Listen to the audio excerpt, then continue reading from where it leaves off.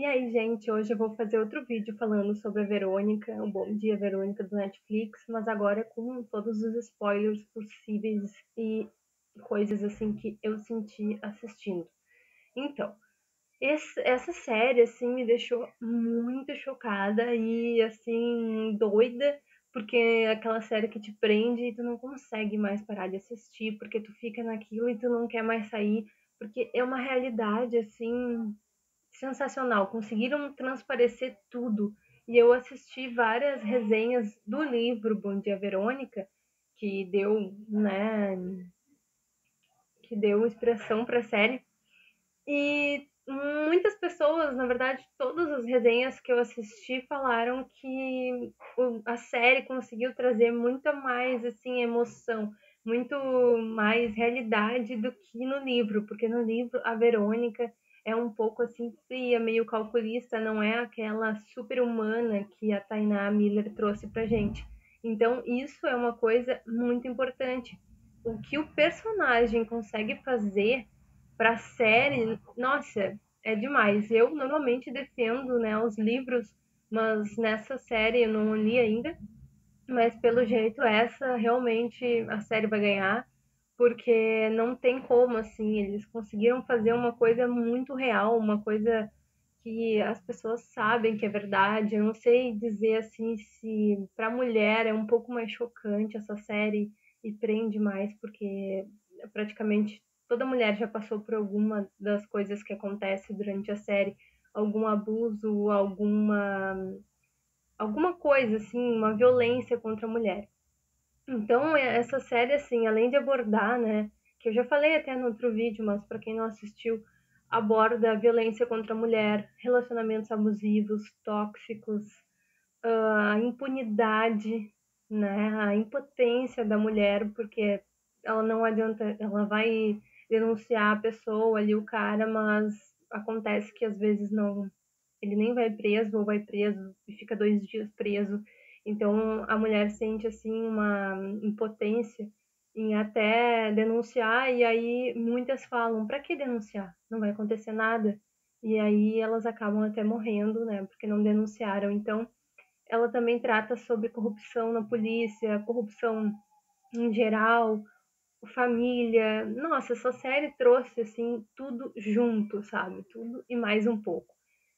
Então, os spoilers que eu posso dar que na verdade, para quem assistiu a série, isso ficou muito óbvio, mas eu gostaria de comentar que eu achei a atuação da Camila Morgado sensacional como Janete, assim, em todos os momentos me dava muita aflição de ver ela com medo do Brandão. Eu ficava pensando, nossa, esse cara é muito louco, porque era uma coisa muito óbvia, assim, a mulher mal suportava ele, não queria que ele tivesse tocando nela, ou quando tocava ela se retraía toda. Eu não sei como ela conseguiu fazer esse papel, assim, porque ela conseguiu passar bem o que é uma pessoa que sofre violência doméstica e tem medo, né, do parceiro.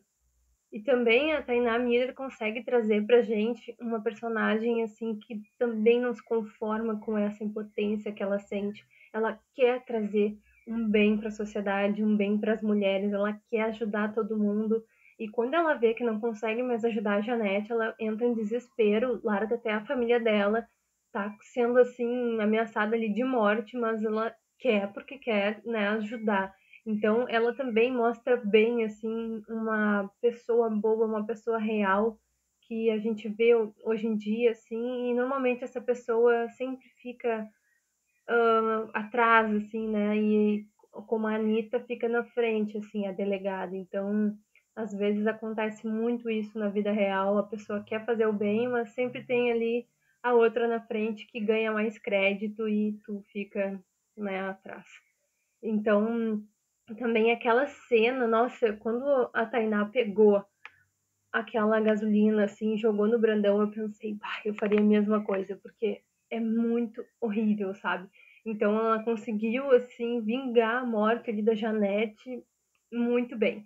Eu vi algumas críticas sobre a série que as pessoas estavam falando assim que eles erravam um pouco no timing ali da violência, mas eu não achei. Eu achei assim que a série foi perfeita. Eu acho que a violência foi muito bem feita até, porque normalmente assim que eu tenho experiência nas séries brasileiras, às vezes os efeitos não são tão bons e aí acaba sendo uma coisa meio trash.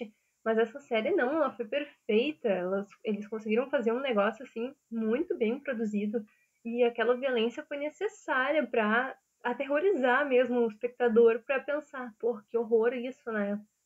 Então, nossa, assim, não tem nem que dizer assim que eu fiquei tão emocionada com essa série, eu quase chorei. E ainda vai ter a segunda temporada no que vem, então isso é muito bom.